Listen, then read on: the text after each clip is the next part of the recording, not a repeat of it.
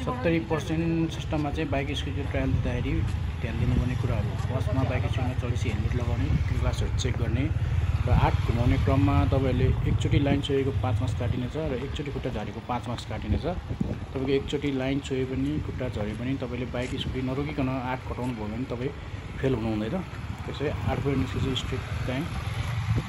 प्लान्टमा गाडी bike scooty तल झर्नु भएन।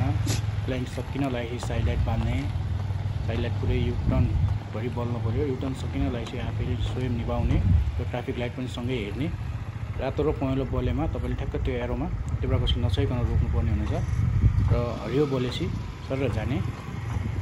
त्यसपछि आयो हाम्रो स्पिड ब्रेकर स्पिड ब्रेकर सकेपछि उकालो हुनेछ। उकालोमा ठ्याक्क त्यो स्टप अक्षरमा तपाईँले अगाडिको पाङ्ग्राले छोएर रोक्दा हुनेछ। अगाडिको लाइन मात्र हुन्छ उकालोमा पछाडिको लाइन हुँदैन। त्यही भएर स्टपमा ठ्याक्क छोएर अगाडिको त्यो भइहाल्छ त्यसपछि उकालो ओह्रालोमा पनि हेर्नु सक्नुहुन्छ तपाईँले। ठ्याक्कै स्टपलाई अगाडिको पाङ्ग्राले छोइसक्यो भने पछाडिको लाइन हुँदैन। लास्टमा ओह्रालोबाट तपाईँ कटिसकेपछि तपाईँको तपाईँ पास।